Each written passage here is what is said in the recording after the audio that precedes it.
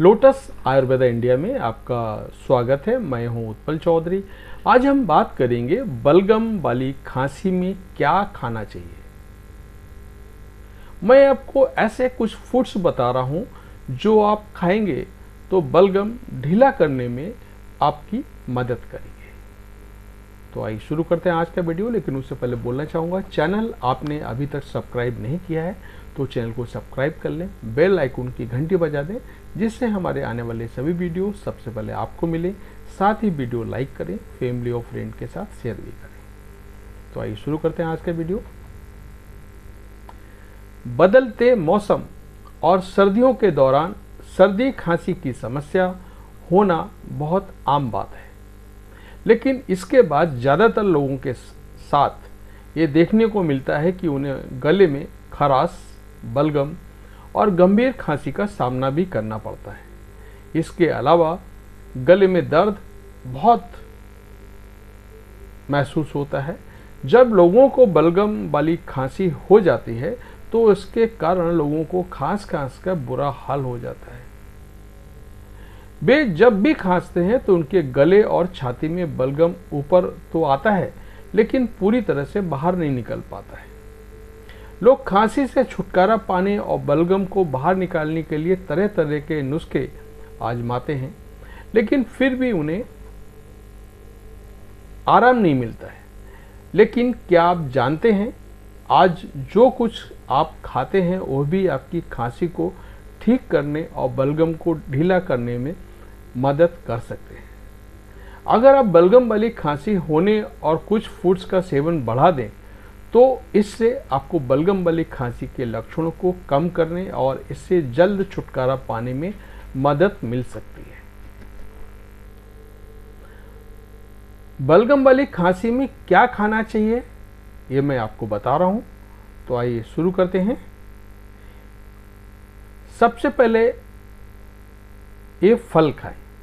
इसमें आप अनानास, जामुन और खट्टे फल, खासकर अंगूर जैसे फल बलगम को बाहर निकालने में बहुत प्रभावी होते हैं।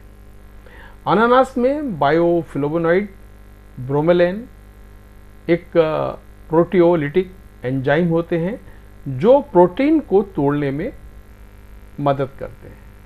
साथ ही इनमें एंटी इन्फ्लेमेटरी गुण भी होते हैं ये सूजन और बलगम के उपचार में बहुत प्रभावी है। इसी तरह एक अन्य फल भी गले की सूजन और बलगम को ठीक करने में मदद करते हैं। फैटी फ़िश खाएँ। इसमें ओमेगा थ्री फैटी एसिड बहुत अच्छी मात्रा में होता है। इनका सेवन करने से बलगम कम करने में मदद मिलती है। ये आपकी इम्यूनिटी बढ़ाने के साथ साथ सूजन कम करने में भी मदद करती है।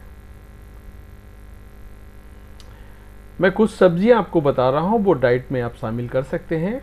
हल्की उबली हुई सब्ज़ियाँ, ताज़ा मौसमी साग।